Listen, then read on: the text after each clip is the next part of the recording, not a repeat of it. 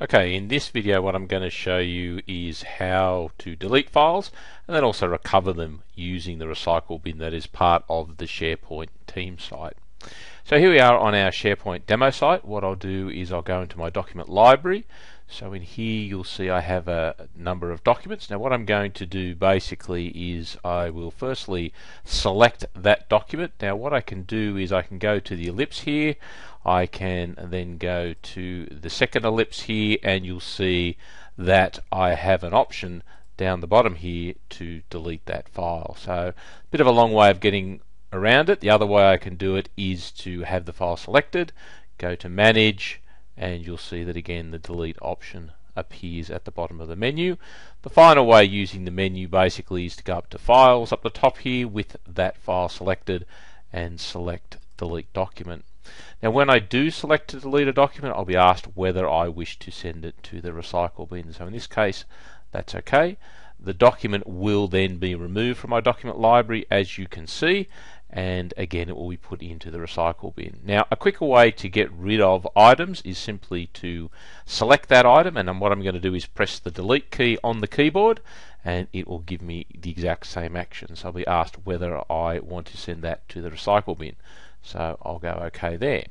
So there now no documents in my document library as you can see.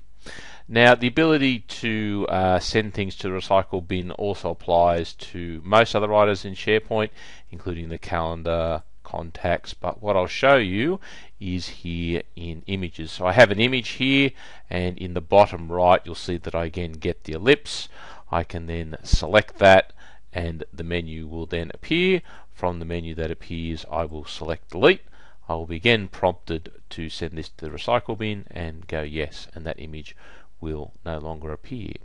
So now the question is how do I get to the recycle bin? So the way that I get to it is via the site content. So over here on the quick launch menu on the left hand side we click site contents and in the top right you'll see that I have a little icon here called recycle bin. So if I select that, that's a hyperlink. That will then show me the three documents that I have deleted. So the one image and the two documents. Now if I want to restore just a single document, I simply select that and press restore selection. It will then prompt me to make sure that it will restore that and it will then place that into the same location that it came from. If I want to restore multiple documents, I can, for example, select them individually um, or I can select the option up here at the top to select all and then restore my selection and I go yes and then once we see the recycle bin is empty we go back to documents and we'll find both our documents are there and if we go to our images you'll see that the image that has been recovered from the recycle bin also appears again. So if I select this, for example, uh, let me back, go back to documents actually. I'll select documents and I will select one of these items again, hit delete on the keyboard to send it to the recycle bin.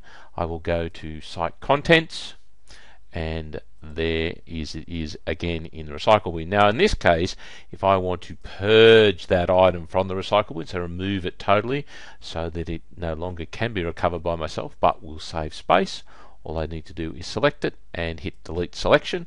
I'll be then prompted that it will be deleted and from there it is now purged from the cycle bin and as a user I can no longer recover that document. So this has been a quick demo of how you can go in and delete a document either via the menu item or by selecting it and pressing delete on the keyboard and then going into site contents and then into the recycle bin and selecting the items to recover.